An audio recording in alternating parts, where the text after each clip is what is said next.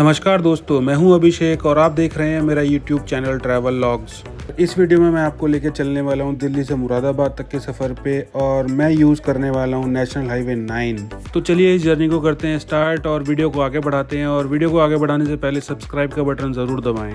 जो national highway nine बनाया गया है, वो पाँच नेशनल हाईवेज को मर्ज करके बनाया गया है।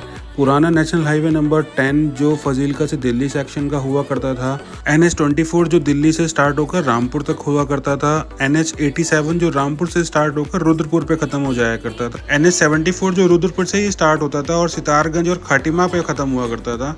और एन एच जो टनकपुर से स्टार्ट होकर और पिथौरागढ़ पे ख़त्म हुआ करता था इन सब पाँच हाईवेज को मिला के एक हाईवे बनाया गया है जिसको एन एच बोलते हैं।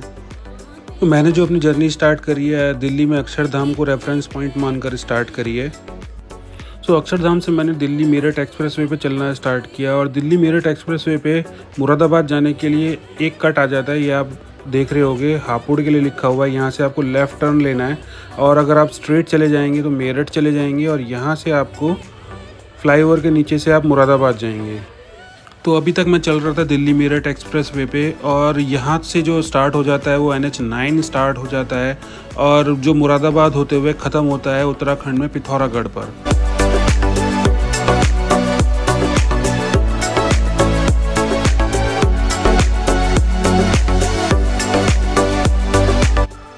ये आप देख पा रहे होंगे, यहाँ पे लिखा हुआ है हापुड़ 28 किलोमीटर। यही वाला रूट आपको लेना है मुरादाबाद जाने के लिए और ये नेशनल हाईवे 9 पे अब हम चल रहे हैं। आप यहाँ से फरीदाबाद, पलवल या बागपत के लिए भी जा सकते हैं। यहाँ से आपको लेफ़्ट लेना पड़ेगा। देखिए, आगे कट आएगा। 500 मीटर पे यहाँ से कट आएगा पलवल जाने के लिए, जो आप यहाँ से लेके और पलवल भी जा सकते हैं।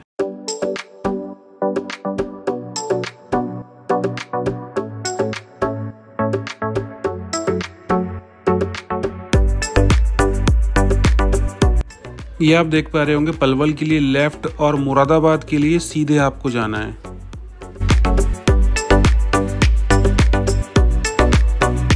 तो दोस्तों, अभी मैं पहुँच चुका हूँ पिलखुआ में और इसी हाईवे पे मेरे को सीधे चलते रहना है, आगे मुरादाबाद के लिए। ये आप देख रहे होंगे, मुरादाबाद 132 किलोमीटर यहाँ से दिखा रहा है। पिलखुआ टाउन उत्तर प्रदेश के हापुड़ डिस्ट्रिक्ट में आता है और हापुड़ यहाँ से लगभग कुछ 22 किलोमीटर की दूरी पर है। डॉक्टर कुमार विश्वास का जन्म पिलखवा में ही हुआ था और इन्होंने अपनी जीवन की प्रारंभिक शिक्षा यहीं से ग्रहण की थी।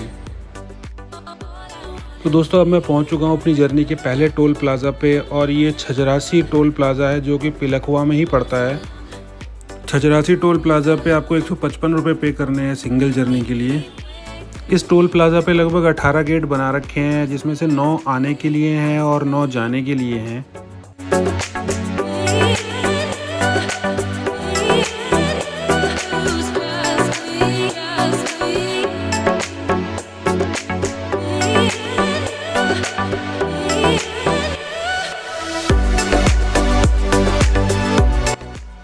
पिलकवा क्रॉस करने के बाद मेरी जर्नी आगे बढ़ती है हापुड़ की ओर। हापुड़ क्रॉस करने के बाद गढ़मुक्तेश्वर। गढ़मुक्तेश्वर से और आगे पाँच किलोमीटर जाने के पे ब्रिज घाट आता है, जहाँ पर पावन गंगा नदी बहती हुई मिलती हैं।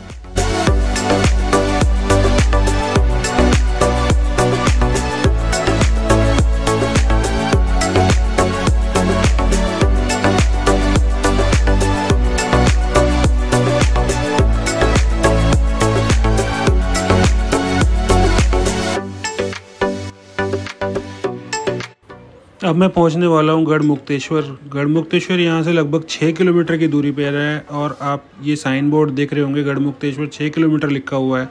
और आगे जाके लेफ़्ट अगर आप ले लेंगे तो गढ़ मुक्तेश्वर अंदर सिटी में चले जाएँगे। और ये जो एन एच नाइन है, ये गढ़ मुक्तेश्वर अंदर सिटी में नहीं जाता है, आपको सिटी बाईपास कर देता है ये।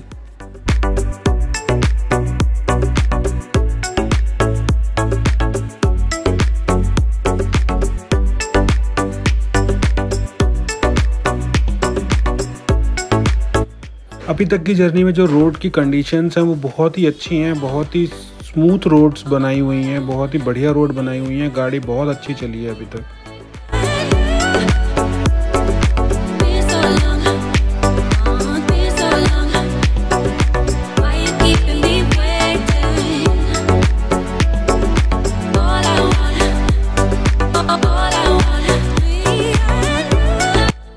दोस्तों, अभी मैं पहुँचने वाला हूँ ब्रिज घाट और ये आप ऊपर साइन बोर्ड देख रहे होंगे। ब्रिज घाट यहाँ से लगभग पाँच किलोमीटर की दूरी पर है।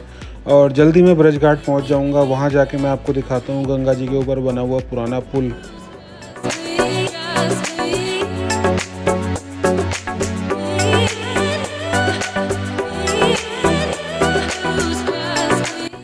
दोस्तों ब्रज घाट पहुँचने से पहले यहाँ पे टोल टैक्स पड़ता है, जिसे Braj Ghat toll tax plaza बोलते हैं।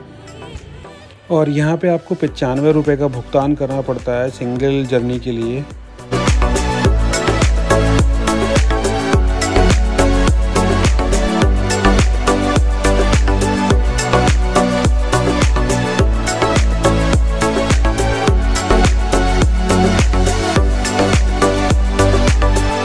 दोस्तों, Brij Ghat toll plaza cross करने के बाद अब मैं बढ़ रहा हूँ ब्रिज घाट की ओर। ये है, आगे आप देख रहे होंगे लेफ़्ट साइड में रेलवे का पुल जा रहा है, जो गंगा नदी पर बना हुआ है। और राइट साइड में सारे घाट बने हुए हैं, जहाँ पे सारे श्रद्धालु स्नान करते हैं और गंगा मैया की पूजा करते हैं। तो जिस पुल पे अभी मैं चल रहा हूँ, जो आगे बस जा रही है, इसी पुल पे मैं चल रहा हूँ। और ये पुल नया बना हुआ है। पहले यहाँ पे केवल एक ही पुल हुआ करता था आने जाने के लिए, जहाँ से वो ट्रक आ जा रहा है। और एक ही पुल के कारण यहाँ पे बहुत जाम लगा हुआ करता था।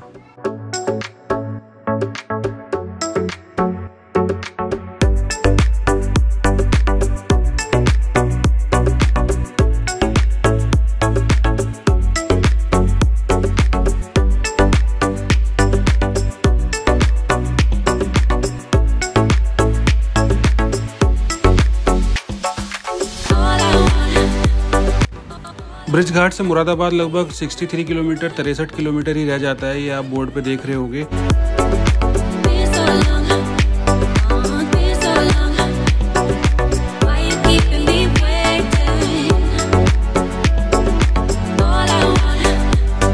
तो दोस्तों, अभी मैं यहाँ पहुँचा हूँ गजरौला और मुरादाबाद जाते हुए यह वो जगह है जहाँ पे आपको सारे मल्टी ब्रांड रेस्टोरेंट्स मिल जाएँगे। मैकडोनल्ड से लेके पिज़्ज़ा हट, के और डोमिनोज़ ये सारे रेस्टोरेंट्स मल्टी चेन रेस्टोरेंट्स आपको इस जगह पे कम्प्लीटली मिल जाएँगे। तो दोस्तों, अब मैं पहुँच गया अपनी जर्नी के तीसरे टोल प्लाज़ा पे जोया टोल प्लाज़ा और यहाँ पे सिंगल जर्नी के लिए मुझे पैंसठ रुपये का भुगतान करना पड़ेगा।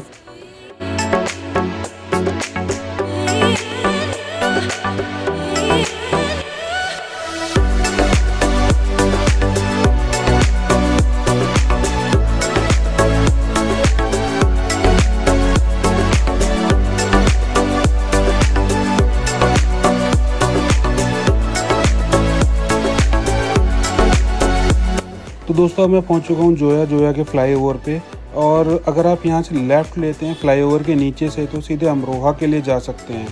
दोस्तों फ्लाईओवर बनने से पहले यहाँ पे जाम की स्थिति बनी रहती थी, लेकिन फ्लाईओवर बनने के बाद आप बहुत ही स्मूथ ट्रैफ़िक हो गया है, आप इजीली आगे ट्रैवल कर सकते हैं।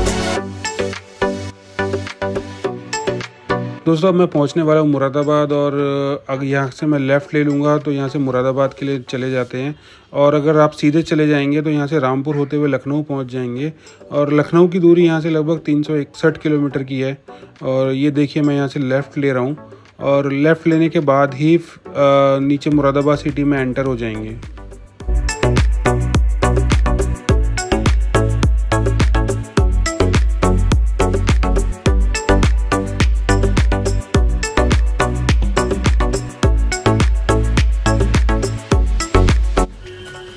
ये देखिए, यहाँ से मुरादाबाद सिटी स्टार्ट हो जाती है और अब मैं मुरादाबाद में एंटर करने वाला हूँ और बिल्कुल सीधे जाके आप मुरादाबाद में एंटर हो जाएँगे।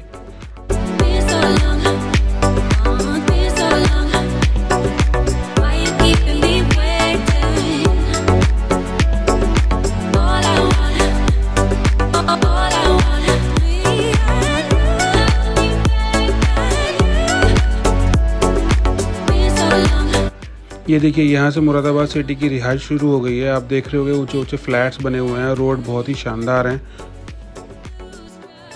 मुरादाबाद को पीतल नगरी भी कहा जाता है, क्योंकि यहाँ पे बहुत सारी फैक्ट्रीज़ और बहुत सारे कारखाने ऐसे हैं कि जो पीतल के बर्तन बनाने में जिनको महारत हासिल है, और बहुत सारे पीतल के बर्तन यहाँ से एक्सपोर्ट भी होते हैं।